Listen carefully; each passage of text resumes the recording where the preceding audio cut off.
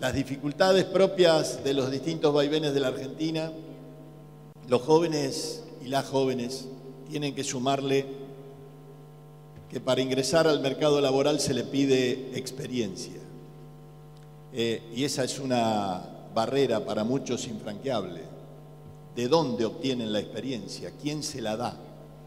Eh, y esto es uno de los temas centrales que este tipo de programa viene a subsanar, para que e, ese salto, eh, si no tenemos vocación empresarial de tener un taller escuela, de los distintos centros de las entidades gremiales empresarias, no hay posibilidad de generar eh, una opción de empleo.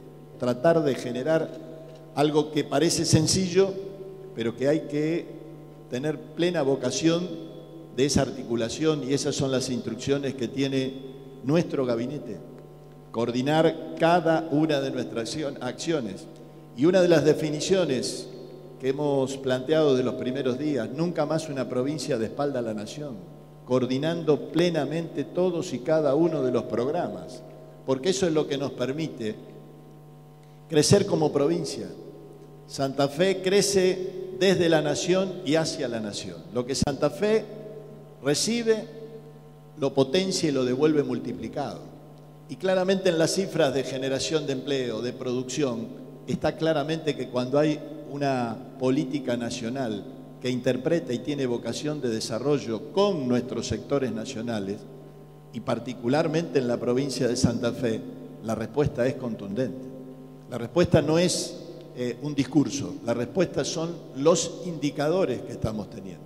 Nosotros confiamos plenamente en esta articulación porque conocemos a los actores, conocemos lo que cada uno va a poner en esto y esto es lo que nos lleva a confiar en hacernos cargo de un programa que amplía lo que la nación nos está ofreciendo.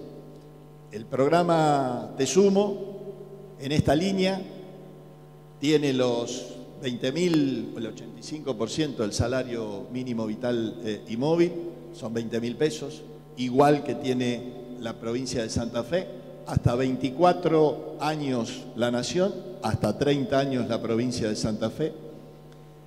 La nación incorpora las cargas laborales.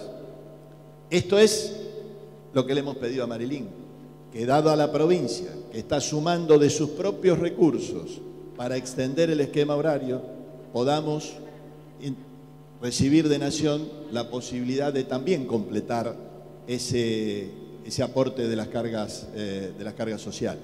Es la dirección que tenemos desde un compromiso firme del gobierno provincial, acompañar, trabajar codo a codo con nuestro sector privado en todos y en cada uno de los sectores.